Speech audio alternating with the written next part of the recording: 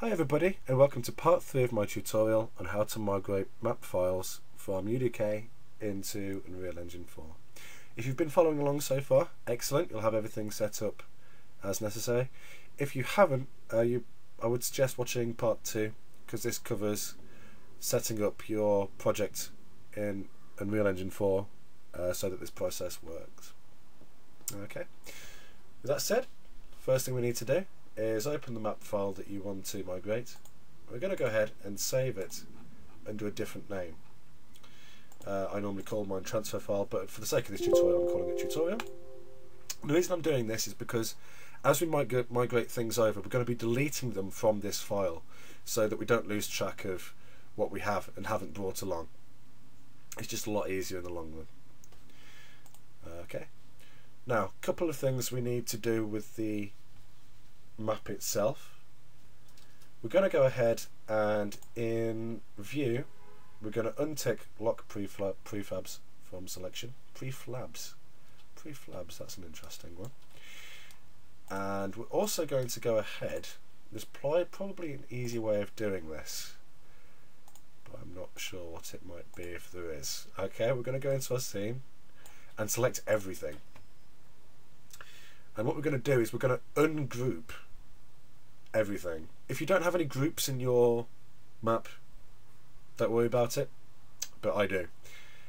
So we're going to go select everything, takes a little while. There we go. Uh, right click, and of course, uh, I always lose track of it in this. I should know where this is. Groups. I found it immediately. Easy. And we're going to click uh, ungroup, not unlock, but ungroup. Okay, give it a chance to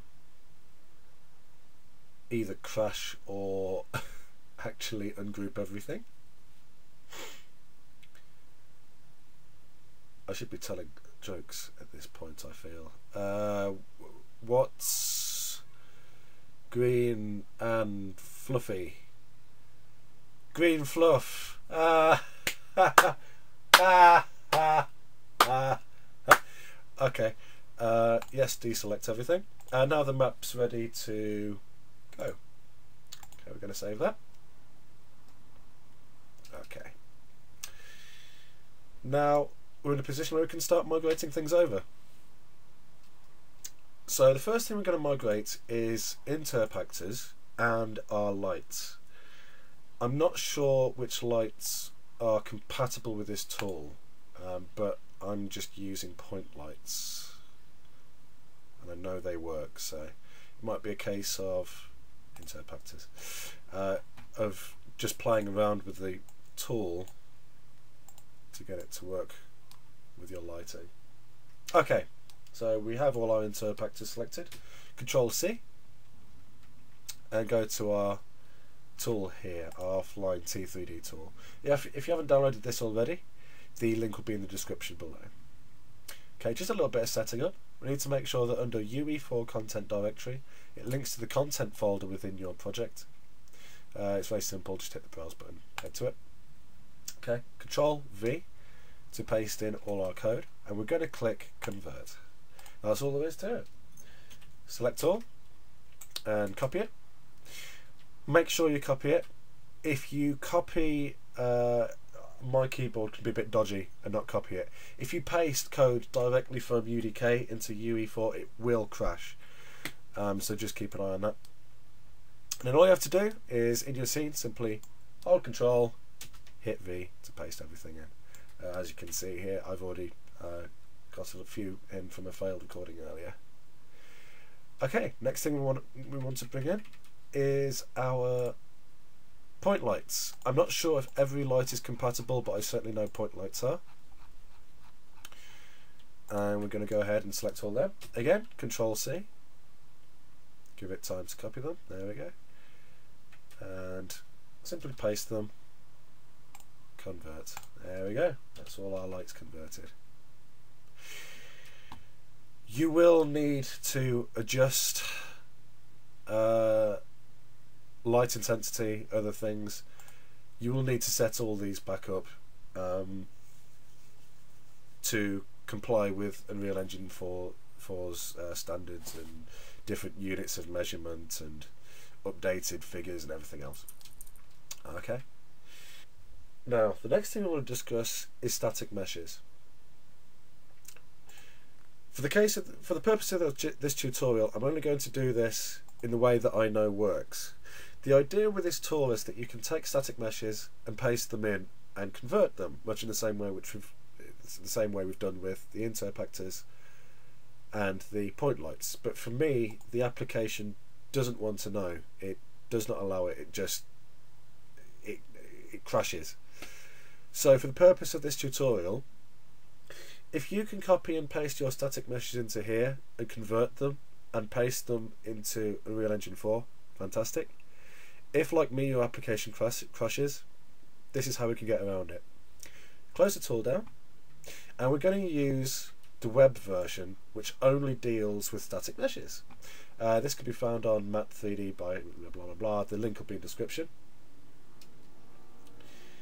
And what we want to do, of course, is take our static meshes and bring them over. Now, because we're doing it a specific way, we can't just select all of our static meshes and put them into the tool because it loses uh, mesh data in the process. Okay, so this is what we're going to want to do. We want to select each instance of the mesh, of a specific mesh, and bring that over. Let me show you what I mean. Um, emitter's getting in the way, that's really annoying. Oh, that one wasn't. right, so take this pillar here. I'm going to select it, hold shift, hit Z. What this basically does is it selects every single instance of it within the level. We're going to right click, find in content browser, and we can see here that it's called SM Pillar Block 02.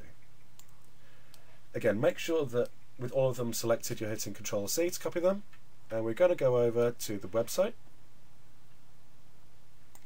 and we're going to paste in that code here and submit. Takes a couple of seconds. With this new code, select it all, copy it, and bring it into Unreal Engine 4. Now, as you see, it's lost all of the information for the mesh. So, to remind ourselves what the mesh was called, SM Pillar Block 02.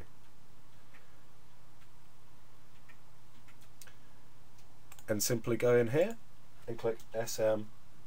So I have a cat in the way. She's not helping. Pillar. And then we're just going to find out, find the mesh. SM pillar block 2 and there we go that's the uh, mesh brought in you're going to have to do that for each and every one of your files uh, for each and every one of your meshes um, and as I mentioned earlier once it's migrated over you're going to want to go ahead and delete it